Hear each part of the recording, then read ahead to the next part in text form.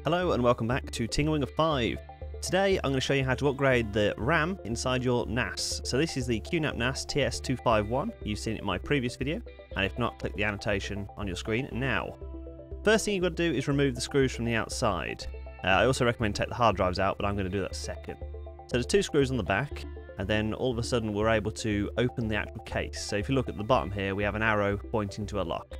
But what we need to do first is take out the actual drives.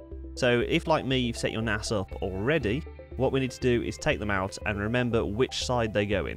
So you'll notice here that I'm going to put one on the left and one on the right. And then I'll move them upwards so we can get on with the video. The NAS will now slide down and the rest of the case will come up and reveal the hard drive caddy inside as well as all its internals. And lots of you will notice it's actually essentially a laptop inside. So let's move everything up and we can start taking apart the actual assembly. So if we uh, unscrew everything going around the outside, we then move on to the more internal screws towards the middle. And there is also one screw on the back which we need to pay particular attention to because that one is what's holding in the assembly at the moment. So if we remove the screw from the back here, which is the tricky one to get rid of, we're actually able to remove the drive assembly after we remove this one. When the drive bay is ready to be removed, simply lift it out. It's just connected to a PCI Express connector on the mainboard. And this reveals all the internals. So we can see the CPU in the middle here, we have the PCI Express connector at the top, and at the left, and at the bottom we have the RAM.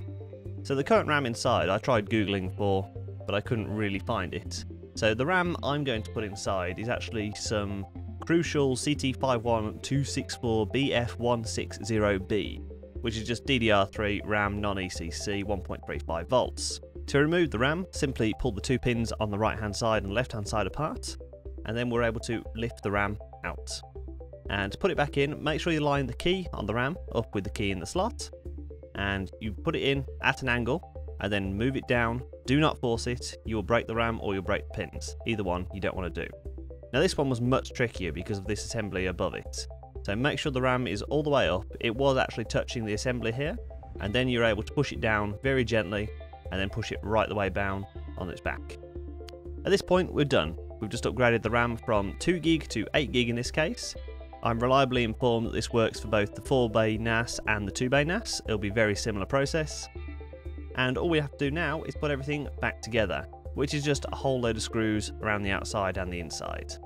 When everything is all back together, make sure you get the drives the right way around if you've already set it up. If you haven't set it up already, then everything will be fine no matter which way around. So you noticed earlier I put one on the left, one on the right, just so I'd remember which way around they go. I would also recommend putting a number on either side, just so you remember which one they go in. I had absolutely no issues during boot up, the NAS accepted it straight away, and if we go into this area, we're able to see on the resource monitor, we're already at 27% RAM from about 90%, and if we go into the system settings, we can see all 8GB is detected. So thank you for watching everybody.